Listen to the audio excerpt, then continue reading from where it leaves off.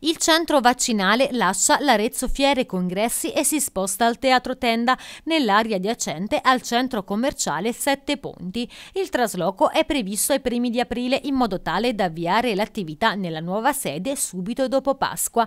La struttura è stata concessa in comodato gratuito dalla Fondazione Guido d'Arezzo. L'ASL provvederà adesso ad alcuni piccoli lavori di adattamento alle nuove esigenze. Le potenzialità di vaccinazione saranno le stesse del padiglione stazione di Arezzo Fiere e quindi una decina di postazioni. La concessione in comodato gratuito è un gesto istituzionale importante che rafforza la collaborazione tra comune e azienda sanitaria, commenta il direttore generale dell'ASLA Toscana Sud-Est Antonio D'Urso. La campagna vaccinale prosegue è lo sforzo più importante che siamo stati chiamati a sostenere per dare una svolta al sistema di azioni anti-Covid che tutti abbiamo messo in campo.